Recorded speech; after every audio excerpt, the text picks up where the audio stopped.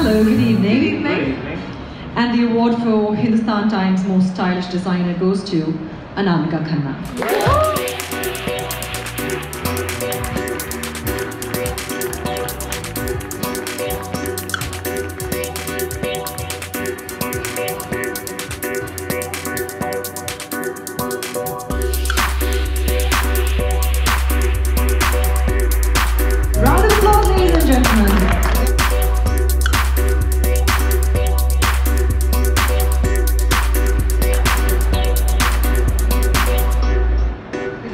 And gentlemen. The first award, obviously, it's more unnerving than the rest. When I first started designing, um, there was always this confusion about whether to conform or not to conform. It's only when I had the courage to find my own path, I found freedom. And I was able to create a style which was my own.